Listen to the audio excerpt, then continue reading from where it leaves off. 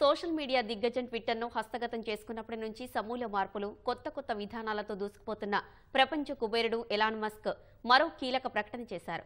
ఇప్పటికే ట్విట్టర్ పేరును ఎక్స్గా మార్చేసిన మస్క్ కొత్తగా మరో సబ్స్క్రిప్షన్ మోడల్ను పరీక్షించేందుకు సిద్ధమై వినియోగదారులకు షాక్ ఇచ్చాడు.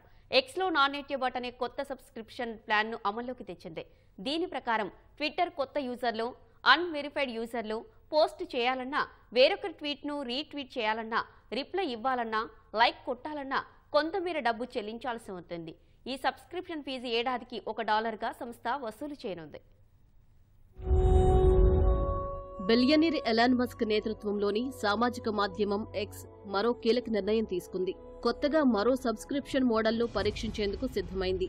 ప్రస్తుతానికి దీన్ని ప్రయోగాత్మకంగా కొన్ని మార్కెట్లలో ప్రవేశపెట్టింది.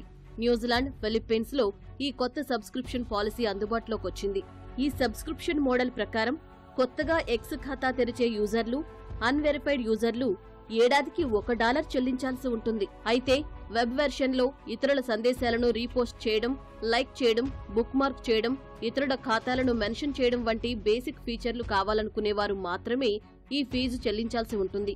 కేవలం ఖాతా తెరిచి పోస్టులను చదవడం ఫోటోలు వీడియోలు చూడ్డానికి మాత్రం ఎలాంటి రుసుము అవసరం లేదు. ప్రస్తుతానికి దీన్ని కొత్త యూజర్లకు మాత్రమే పరిమితం చేస్తున్నట్లు కంపెనీ తెలిపింది.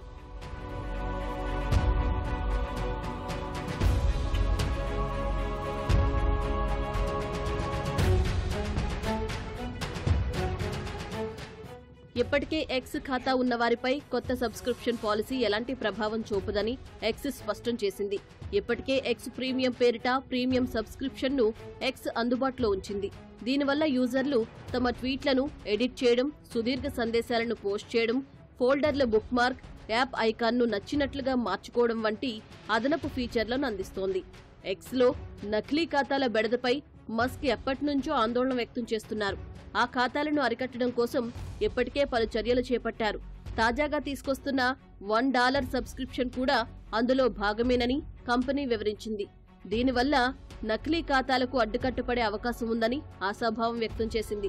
సబ్స్క్రిప్షన్ ఛార్జీలు దేశాన్ని బట్టి మారతాయని తెలిపింది.